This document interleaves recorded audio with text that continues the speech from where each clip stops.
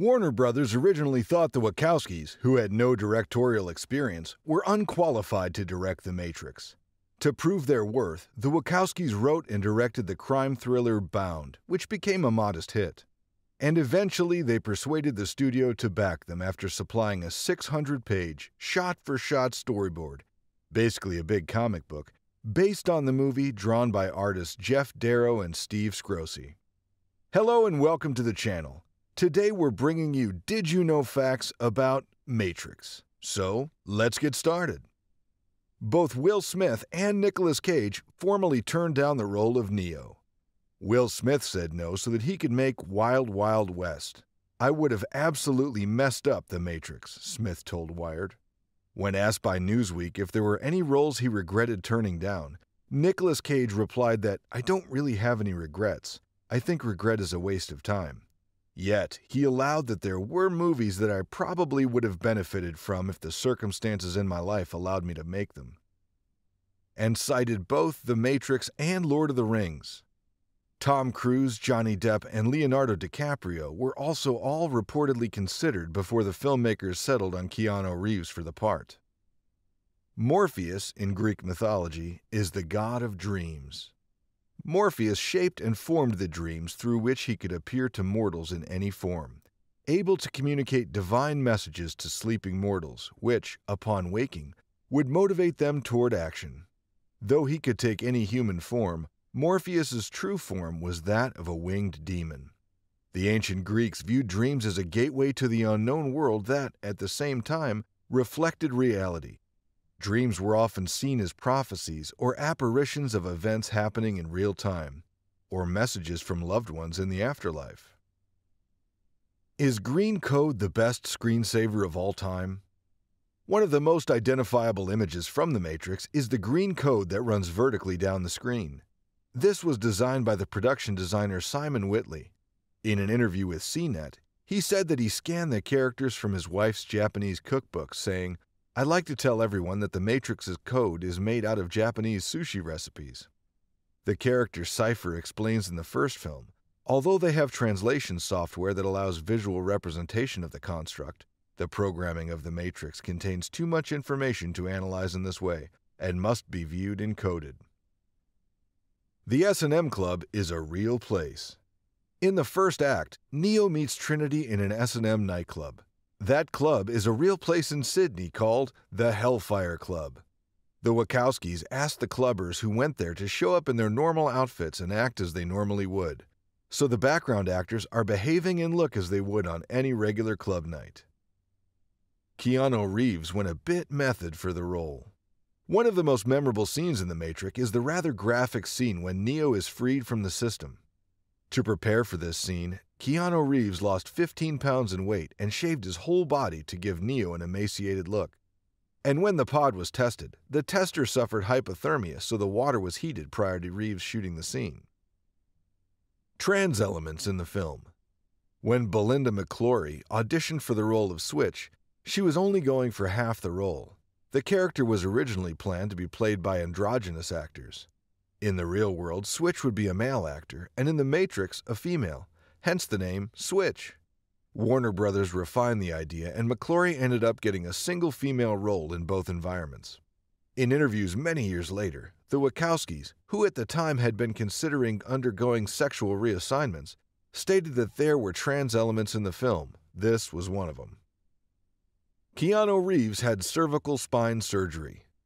Prior to the pre production, Keanu Reeves suffered a two level fusion of his cervical spine, which had begun to cause paralysis in his legs, requiring him to undergo neck surgery that forced him to wear a neck brace. He was still recovering during pre production, but insisted on training. Stunt coordinator Wu Ping Yen let him practice only punches and lighter moves. Reeves trained hard and even requested training on days off. However, the surgery left him unable to kick for two out of the four months of training. As a result, Reeves did not kick much in the film. Do you know Kung Fu? Kung Fu choreographer Wu Ping Yen initially refused to work on The Matrix and hoped that by asking for an exorbitant fee, it would turn off the Wachowskis. It didn't. He next formulated what he considered an impossible request. He said that he'd agree only if he had complete control of the fights and that he train the actors for four months before they shoot. The Wachowskis complied with his request. Master of Drunken Boxing When Tank is uploading the martial arts training to Neo, there is a shot of the computer screen as it scrolls through the various martial arts styles. The graphics have a computer image of a person and the title of the style below. The fifth one on the screen is entitled Drunken Boxing. Wu Ping Yen, the fight choreographer for this movie, was director and fight choreographer for Jackie Chan's early hit Drunken Master, made in 1978 in which Jackie Chan's character masters the style of Zui Chuan, the drunken boxing. Some other martial arts fighting styles being downloaded are Jiu-Jitsu, Savate, Kempo, Taekwondo, and of course, Kung Fu. Expanding the lore of the Matrix universe. The Animatrix represents one of the most comprehensive sources of Matrix lore for series historians, while also providing an insanely fun viewing experience. Much like Star Wars Visions, The Animatrix creates a series of short stories by handing over the creative reins of the established Matrix franchise to leading Japanese animation studios, with the Wachowskis overseeing as producers. The result is an essential viewing for fans of the series. Old fashioned way did not work. The iconic bullet time effect was conceived and created especially for The Matrix. The famous swirling shot of Neo's gravity defying backbend was made using a rig that contained 120 individual digital still cameras and two film cameras.